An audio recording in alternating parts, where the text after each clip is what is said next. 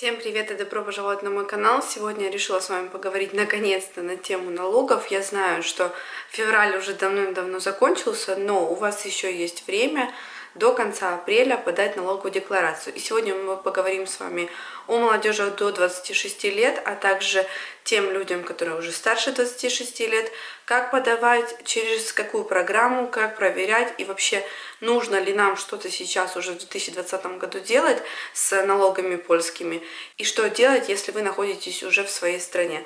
Если вам это интересно, то продолжайте смотреть это видео дальше. Давайте сначала о молодежи, которым до 26 лет. Закон вступил с 1 августа 2019 года, что каждая молодежь до 26 лет в Польше освобождается от уплаты налогов. Такую льготу может получить не каждый, только молодежь до 26 лет, а также если доход не превышает 85 528 злотых. Так как мы рассчитываем налог в 2020 году за 2019 год, и в связи с тем, что э, закон был принят в августе 2019 года, то в период август 2019 года по декабрь 2019 года ваш доход не должен превышать 35 636 злотых брута и тогда вы можете воспользоваться данной льготой. Ну и также вы должны иметь умову о либо же умову злицения. Если вы в 2019 году написали своему работодателю такое оштвержение, заявление о том, что вы хотите э, получить такую льготу, то есть чтобы вас не снимался налог, то вас ваши доходы были перерасчитаны э, в 2020 году за 2019 год. С 2020 года вся молодежь до 26 лет уже не должна писать такого заявления, уже все будет автоматически. То есть если ставка указана бруто, то вы такую же сумму получаете нетто. То есть если минимальная краевая сейчас за час 17 злотых бруто, то вы, соответственно, получаете 17 злотых нетто за один час вашей работы на территории Польши. Нулевой ПИД не распространяется на доходы, которые вы получили на основании умовы отдела, если вы вели свою предпринимательскую деятельность, выплата некоторых социальных пособий, то есть это по безработице, по каким-то заболеваниям и так далее. Помните, что если вы и э, написали там заявление, либо же вот сейчас 2020 года у вас и нулевой ПИД, то есть у вас нулевые доходы, то это не означает, что вас освобождают от уплат в НФЗ, то есть обязательно должны иметь страховку. Поэтому от этого всегда и зависит еще ваша заработная плата, потому что если, например, очень многие путают, что если вам 26 лет, но вы, например, не студент, то вы должны получать 17 злотых нетто. Это неправильно. Э, во-первых, так, если вы студент, у вас есть легитимация актуальная, на момент подписания договора и до окончания вашей легитимации работодатель может заключить с вами умову працы либо умову злицения, и если вам на тот момент нет еще 26 лет, то вы будете получать, там, например, 17 злотых брута и 17 злотых нетто означает. Если же во время подписания договора вам еще нет 26 лет, но вы не студент, тогда работодатель должен платить еще в НФЗ, то есть в ЗУС, и ваша ставка тогда уменьшается, то есть вы уже получаете 14,70 э, злотых нетто. Э, если же у вас есть еще одна работа и вам до 26 лет, Э, и у вас нету легитимации, то есть нету студенческой карты, то вы тоже получаете около 15 злотых нетто. То есть не путайте э, тот момент, э, что ПИТ нулевой для молодежи, он для всех. Нет, к сожалению, все будет зависеть от вашей ситуации, от того, работаете вы или не работаете, учитесь вы или не учитесь, и сколько вам лет. Поэтому не забывайте этот момент и если вы получили от работодателя ПИТ-11, то вы его обязаны проверить. Как это сделать, мы поговорим с вами об этом немножко позже. Ну а теперь давайте поговорим о людях, которые вообще приехали работать и проработали в 2019 году. Давайте я вам еще раз напомню, я снимала недавно видео о резиденте и нерезиденте на территории Польши. И я вам там объясняла, кто является резидентом, а кто является нерезидентом. Так вот, если вы получаете на руки документ, декларацию ИФТ-1Р либо ИФТ-1, то, к сожалению, в Польше рассчитать ее не можете. Либо же, если вы напишете заявление вашему работодателю о просьбе перерасчете вашего ИФТ-1Р а, на ПИТ-11, при этом подтвердите о том, что вы были резидентом на территории Польши, находились более 183 дней, то тогда вам могут перерасчитать, но я вам честно скажу, на практике очень маленький процент работодателей делает эти перерасчеты, потому что в том году они платили за вас двойные налоги, а перерасчитать всю полностью систему э, это, к сожалению, не на один день. И многие работодатели не хотят заморачиваться этим, потому что нужно по-другому тогда делать перерасчеты, нужно по-другому делать переплаты, э, возвращать по-другому э, суммы вашего дохода, поэтому не каждый этим хочет заниматься. Для этого я вам снимала видео о резиденте и нерезиденте и вас предупреждала, если вы являетесь резидентом и находитесь на территории более 83 дней, то идете в ужин скорбовый, берете себе справку о том, что вы являетесь резидентом, приносите к работодателю, и ваш 2020 год, например, в 2021 году будет рассчитан уже нормально. Также помните, что э, у людей, которые был НИП э, раньше, к сожалению, он уже в будущем вам не пригодится, поэтому каждый, кто приезжает сюда на территорию Польши, должен получить песель. Песель сейчас очень легко получать. Берете договор на жилье, идете в ужин место, делаете часовой мальдунок и получаете песель. Вы можете получать э, часовой мальдунок даже на один месяц. При этом ваш песель будет вам на всю жизнь выдан. Он не будет вам выдан только на один месяц. Поэтому не забывайте этот момент. Либо же есть еще одни нюансы, как получить песель, но если захотите, то мы поговорим с вами об этом в другом видео, а сегодня о налогах. Так вот, кто должен получить ПИТ-11? Если, во-первых, вы были в 2019 году более 183 дней, во-вторых, если вы работали легально на умове працы, на умове злицения, либо на умове отдела, и в-третьих, вы являетесь резидентом Польши и есть у вас песель. Еще одним таким моментом, многие сейчас, может быть, э, спросят у меня, Оль, а я работала в 2019 году только два месяца, либо три месяца, и мне дали ПИТ-11. И что мне делать? Дальше его рассчитывать? Да, без разницы, работали вы один месяц, работали вы три дня легально, и если уж работодатель выставил вам ПИТ-11, то вы должны его перерасчитать в ПИТ-37. Каждый, кто э, выполняет такие условия, которые я вам перечислила выше, до конца февраля должен был получить либо же на руки ПИТ-11, либо ИФТ-1Р, либо ИФТ-1. Либо же, если вы не получили это на руки, то вам должны были прислать это э, письмом либо же на территории Польши, либо в вашу страну. Это будет все зависеть от того, что вы указывали, когда подписывали договор.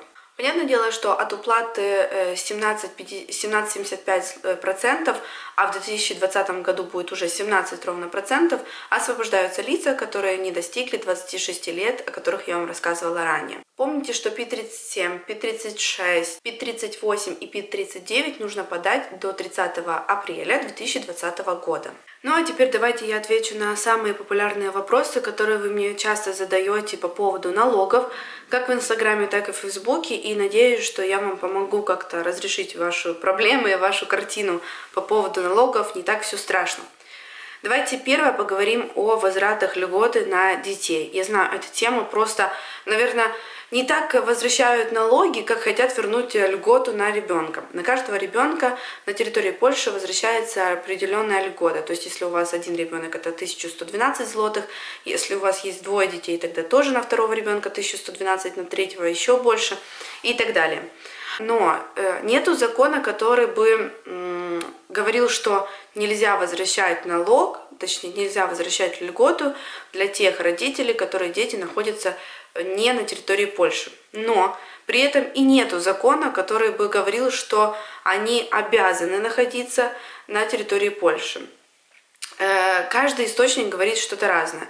Если до этого э, были ситуации, и я лично э, свидетель таких ситуаций, когда вписывали детей в декларацию ПИТ-37, и был звонок с Ужинда о том, что нужно будет принести паспорт с печатями о том, что ребенок был на территории Польши за тот период, который возвращаются деньги, а также свидетельство о рождении, переведенное на польский язык, ну, в общем, э, подтвердить тот факт, что ребенок и правда находился на территории Польши. При этом я также знаю много случаев, когда люди возвращают и говорят, да я возвращаю уже третий год, и мне ничего, никто не звонил. Я знаю тоже такую и, и такую черную сторону, и белую сторону ситуации. На самом деле, когда я узнавала в Ужинде с Карбовым здесь у нас в Поморском воеводстве, то э, мне э, одна пани инспектор сказала, что ребенок должен находиться на территории Польши в момент возврата льготы, потому что пан либо пани работает на территории Польши,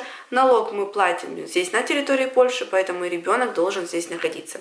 При этом а, мне другая девочка прислала скрин от бухгалтера, где та ей пишет, что неважно, где находится ребенок, на территории вашей страны, либо на территории Польши, вы все равно его содержите, поэтому вы имеете право вернуть такую льготу.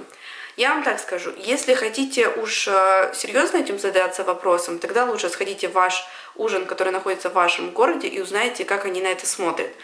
А по факту можете. На практике не знаю, часть, конечно же, приходится вернуть эту льготу, а, потому что у них нет подтверждающих документов, что дети находились на территории Польши. Поэтому э, по поводу детей у меня можете не спрашивать. Я все равно твержу, что дети должны быть находиться на территории Польши, и вы должны заполнять э, ПИТ-О. Э, это декларация для льготы на каждого ребенка. Для того, чтобы внести ребенка в такую декларацию, ему нужно иметь либо же ПЭСЛ, либо же знать его дату рождения, а также имя и фамилию ребенка, как в паспорте. Следующий вопрос, наверное, самый еще тоже популярный. Нужно ли нам вообще что-то делать с этим ПИТ-37, если все-таки уже с 2019 года а, ужин скорбовый сам это рассчитывает? Так вот, я вам скажу, что нужно. Все равно вы должны. И здесь такой момент, что э, с одной стороны вы не обязаны и можете ничего не делать, дождаться там 30 апреля, после 30 апреля будут э, э, вам перечислены ваши суммы денег по возврату. Но с другой стороны, как вы узнаете, если у вас там недоплата? Вас никто не будет уведомлять о том, что вам нужно наоборот, вам не, верно, не возвращается налог, а вам нужно доплатить этот налог. Кто вас этот уведомит об этом? Никто и у вас будет расти пеня тогда. И вам тогда через на следующий год, когда вы захотите возвращать налоги, э, вас просто система не пропустит о том, что у вас задолженность. При этом а, налоги очень важны возвращать, либо там рассчитывать их, подавать эти декларации, так как а, всем тем, кто хочет подаваться на карту резидента, на гражданство, а, это очень важно. Особенно это важно при карте резидента, потому что вы приносите документы, подтверждающие последние три года вашей легальной работы, а из одних из перечней документов является ПИ-37 за последние три года. Э, как я вам сказала, есть два выхода. Либо вы ничего не делаете, не рассчитываете, ждете 30 апреля, и вам либо возвращается налог, либо вы просто идете в ужин Скорбова и узнаете, нужно ли вам что-то доплатить. И второй вариант, э, вы просто заходите через э, систему epita.pl, либо податки gov.pl э, и проверяете свои там налоги, проверяете свои данные. Ага, еще самое важное, что я не сказала вам, если вы не рассчитываете налог и ждете, пока мисс вам ужин рассчитает, и пока мисс там придут оплаты после 30 апреля, то ответственность несете вы за эти расчеты. То есть если в будущем какая-то появится ошибка, либо кто-то там в проверке узнает, что где-то была какая-то ошибка, то, к сожалению, несете ответственность за это вы. Если же вы проверяете все, то, понятное дело, вы тоже несете ответственность, но зато вы точно знаете, что вы там проверили, какие вы данные вписали. При этом а, часто, если у вас только появился ребенок, ужин об этом не знает и может его не внести в эту систему. А для этого и нужно сверять эти налоги, для того, чтобы проверить, все ли данные указаны, все ли дети указаны, потому что, может быть, у вас только был один ребенок, а родился в 2019 году еще один ребенок, а об этом не сказано в налогах, то есть вам надо это все проверять обязательно. Для того, чтобы войти в систему, вам нужно, если мы говорим о податке GovPL, вам нужно иметь PESEL, если мы говорим о epita.pl, вам можно иметь либо PESEL, либо же NIP, но э, знаете, что если у вас какой-то год не будет рассчитан, то система вас не пропустит и э, налоги вам не рассчитаются. Вам нужно будет тогда распечатывать эти э, таблицы, распечатывать эти Excel и завозить непосредственно в ужин Скоробовый, который находится рядом с вами по адресу замешкания. Либо же, если вы поменяли воеводство, то вам нужно будет заказным письмом отправлять в то воеводство, где были уплачены налоги. Дальше. Если у вас, э, если вы работали в 2019 году на нескольких работах, 3, 4, 5 работ это было, и э, вам, например, от двух работодателей пришел ИФТ-1, то, понятное дело, этот документ вы откладываете, он вас не интересует, и от трех работодателей вам, например, пришел ПИТ-11. Так вот, в ПИТ-37 вы должны указать всех работодателей, у которых вы получили ПИТ-11. И в одном э, документе вы должны их всех рассчитать и потом посмотреть, где, что и как. Э, если же ваша жена находится на территории Польши, но она не работала, вы также можете ее внести в базу, обозначив о том, что вы подаете декларацию вспульно с мужонким, то есть вспульно совместно с женой, либо с мужем, при этом у вас налог немножко на возврат увеличивается. Также с 2020 года появился пункт о том, э, что если мать-одиночка находится на территории Польши, находится в разводе, не получает на территории Польши алименты, то она также имеет право указать, что она э, мать-одиночка, которая воспитывает самостоятельно своих детей, и при этом налог тоже увеличивается на возврат. Эм, дальше. 500 плюс никак не должно э, виднеться в ПИТ-37. 500 плюс это пособие, а не зарплата. То есть с пособия у вас не взимается никакой налог, а это означает, что вам не нужно его никак указывать в ПИТ-37. Как же обстоит ситуация, если человек находится в своей стране и получил ПИТ-11? Если же у вас есть ПСЛ, есть ПИТ-11, и вы находитесь в своей стране, то, в принципе, проблем никаких не должно возникнуть у вас. А, я надеюсь, что предыдущие биты у вас тоже рассчитаны, поэтому через систему вы сможете проверить все э, и отправить на возврат своего налога.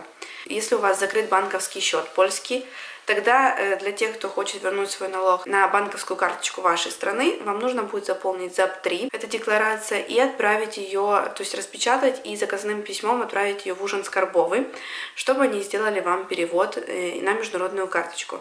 При этом вы должны знать э, ваш IBAN, SWIFT и номер счета. Э, если у вас э, нету PESEL либо НИПа, и тут начинаются проблемы, потому что по факту вы вернуть налог, сидя в своей стране, к сожалению, никак не можете.